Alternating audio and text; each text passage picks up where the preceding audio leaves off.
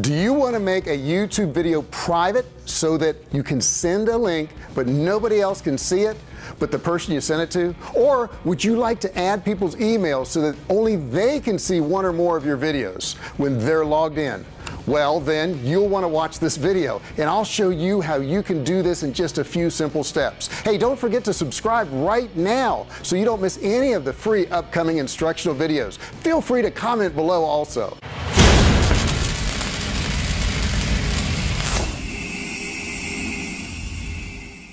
Hi, I'm JR Fisher with jrfisher.com and survivalcavefood.com. On this channel, we show you simple, easy steps so you can start, grow, and run a successful business online.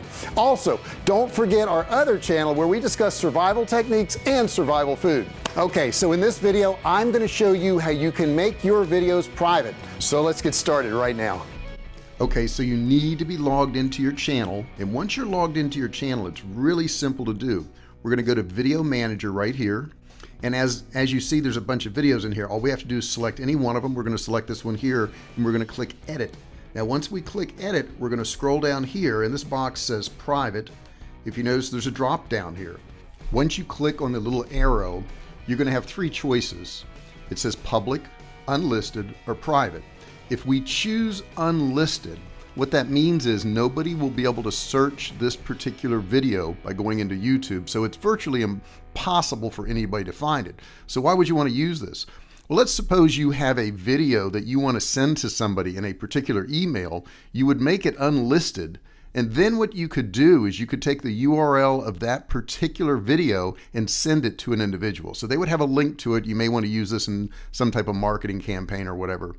And the next choice down here is private. If you click on private, what it allows you to do is add an email address. So you would pick an email address and it's going to pull up different people you may have on your Google account right there. Or you could just put in their email address. And once you do that, if they're logged into Google with that particular email address, they will be able to view that particular video. So it gives you all those choices there. So it's real simple to do. Once you've done it, you go up here, you click Save Changes. And once you've clicked Save Changes, everything's done. You can go back to your editing. Simple, easy to do. You can do this in just a minute or two.